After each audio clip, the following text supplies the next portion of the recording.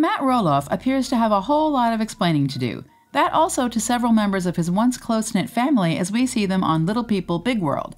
As per previous reports, the father of four put 16 acres of his farm up for sale just a few weeks ago, announcing this choice on Instagram and writing toward the end of his caption that it's finally time for him to move on and head toward the next season of his life.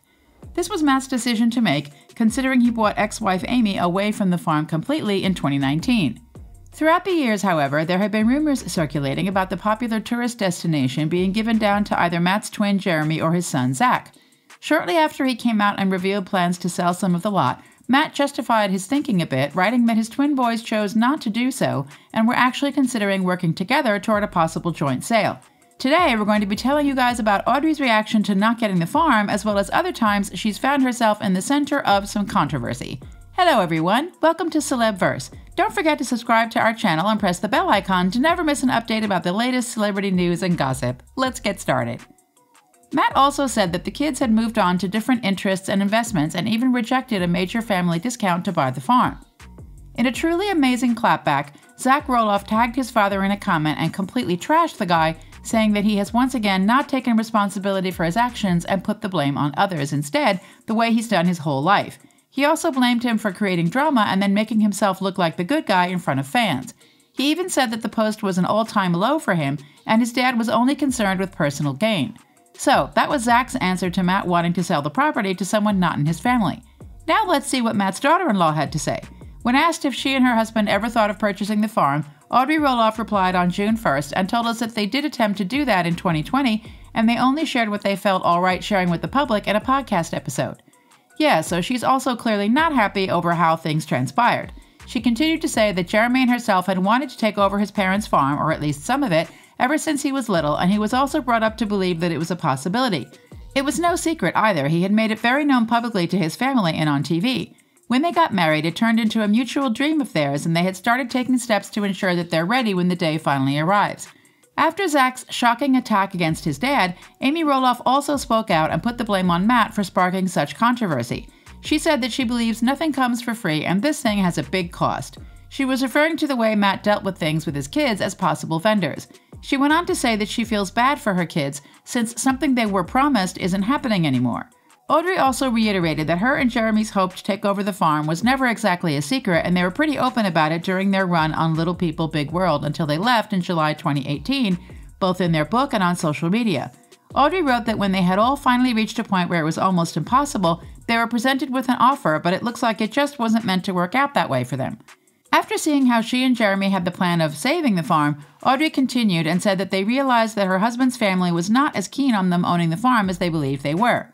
Audrey has never seemed too close to her in laws. We almost never see her posting any pictures with them on Instagram or anywhere else either. This is probably one of the reasons why. She did mention that things with her in laws are never as simple as they appear. Audrey went on to say it was really tough for them to let go of the farm, explaining that they lived pretty much their whole lives there. She has a point. They not only fell in love and had their wedding there, they even helped run the business. She felt like that was home, considering how they did raise their children there. They tried to leave things on a positive side and tried to be optimistic about it, saying, The Lord has taught us so much through this death of a dream, as we refer to it. It's brought an opportunity for so much growth, along with new dreams and a new vision for the future that we are very excited about.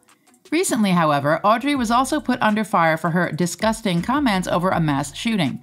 Perhaps one day she'll learn that it really is all right to just be quiet sometimes and not have an opinion on everything, especially those things which you aren't super informed about either.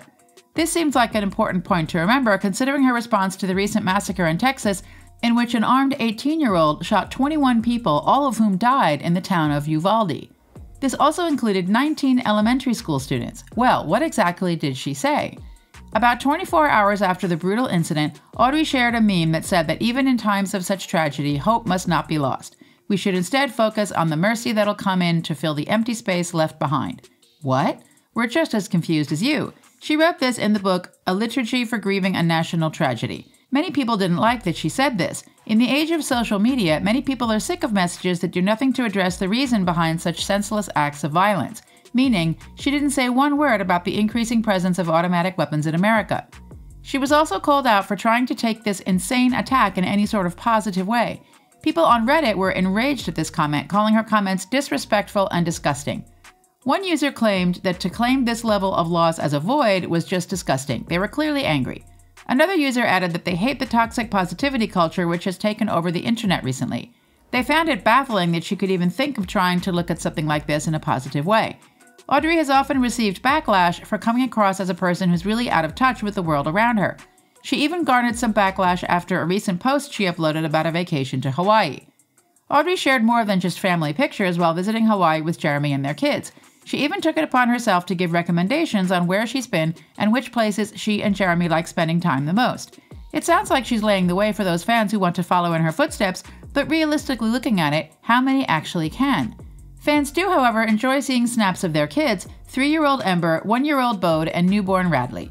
Where Audrey incites backlash is in posts like the one where she offers to explain how Maui became a favorite vacation spot for them. Audrey went on to tell them that they've been there five times and try spending a few weeks there at least. Audrey then opened up to her fans, offering to tell them things like what a vacationer would need and where they would have to stay. But following the boastful declaration, instead of requests for vacation lists, she actually just got backlash. Going on vacation is something, but then reminding everyone how many times you've gone to the exact same expensive vacation spot is a little tacky. Someone on the internet pointed out that the average person can't take more than two weeks off at most. Another commenter added that this kind of vacation just can't be taken by people with actual jobs.